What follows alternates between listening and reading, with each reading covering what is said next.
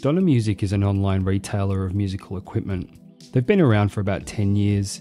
They're probably most well known for their mini guitar pedal range, but these days they sell all kinds of stuff like string instruments, including violins, wind instruments, and studio gear, including microphones, headphones, and the Starry Pad. The Starry Pad is advertised as a MIDI drum machine beat maker with 16 pads for music production, and it retails at about $108 US, or about 70 pounds. The Donner Starry Pad is a small form factor MIDI controller comprising 16 drum pads, two assignable knobs, two assignable faders, and each of these has three banks. It also has a note repeat feature, and by hitting the shift button, you can apply standard timing options, swing at various rates, octave and transpose, and tempo tap. You also have a scroll feature, which allows you to move in four note increments up or down within the banks.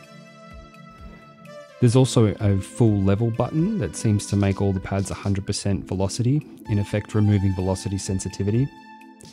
It also has some basic transport controls, including play, pause, and record. It also has two assignable buttons, A and B. The device takes USB C and comes with a USB C to Type A cable. It also comes with a USB A to USB C adapter.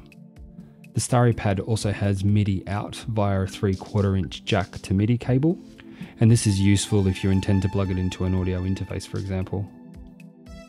The device also comes with editor software for MIDI mapping. All up, the Starry Pad measures at about 10 inches diagonal, so about the size of an iPad Air, making it highly portable and perfect for smaller workstations. Overall, the build of the unit is pretty good, and the plastic chassis feels solid. The rubber feet also provide good stability to the unit.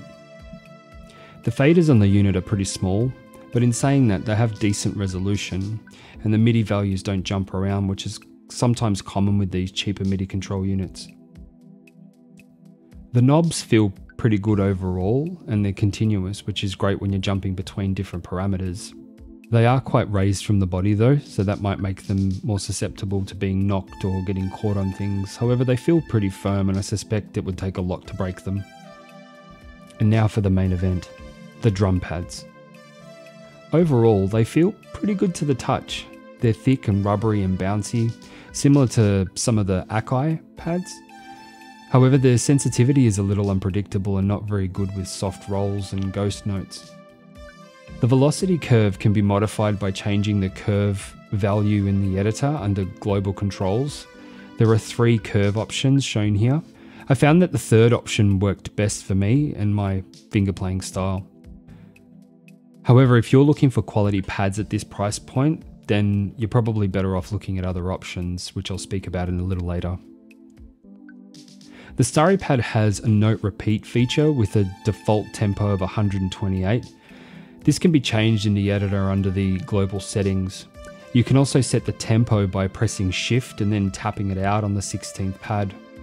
The device doesn't appear to have a tempo sync feature, or at least I couldn't find one, which may be a workflow issue for people who use a lot of arpeggiated or sequenced rhythms in their music.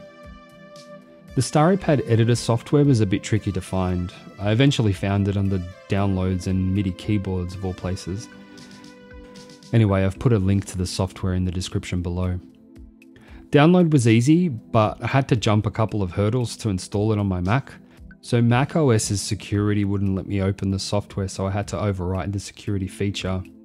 Now, I'm running Catalina for hardware compatibility reasons, and if the software fails to open for you, just open up terminal, type in xattr cr, drag and drop the app in the terminal window, and it will pre populate the file path. Hit return, and it should work fine. The editor software isn't bad. It gives you full control of the MIDI mapping and has a handy auto populate feature, which allows you to bulk modify basic data like note value and MIDI channels, etc. You can also apply these changes to each individual bank or all of them.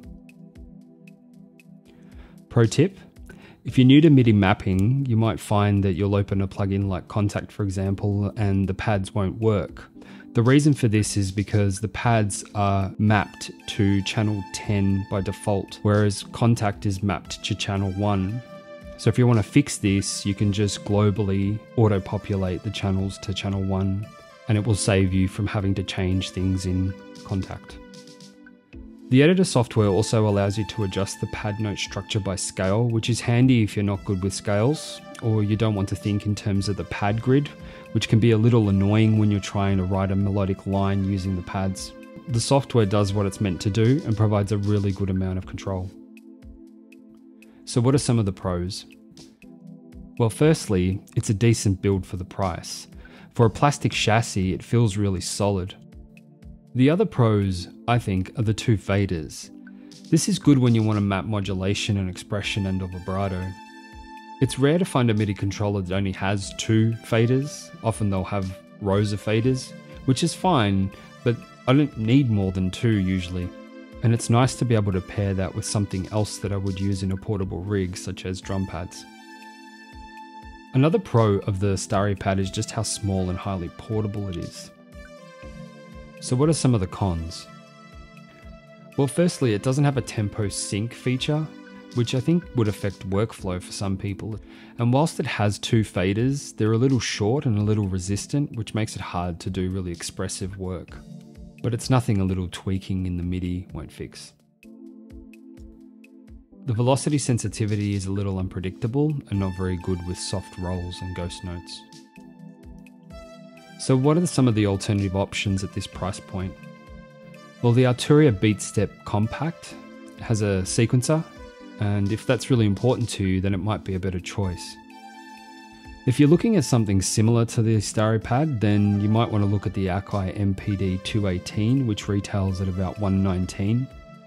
The MPD has the well regarded Akai drum pads with great sensitivity and comes with a number of presets or sound banks. It also includes all the features of the Starry pad except for the two faders. Other cheaper options include the Korg NanoPad 2 and the Akai LPD 8 Ultra Portable. Both of these are quite small. However, the Korg NanoPad from experience is not a quality device. The Akai LPD I can't comment on However, if the quality of the drum pads on their other products is anything to go by, then I would suggest this is a pretty good option if you're looking for quality drum pads. Alright, and that's the Donner Starry pad. If you found this video helpful, please leave a like, and if you want to see more videos like this, please subscribe. Thanks for watching.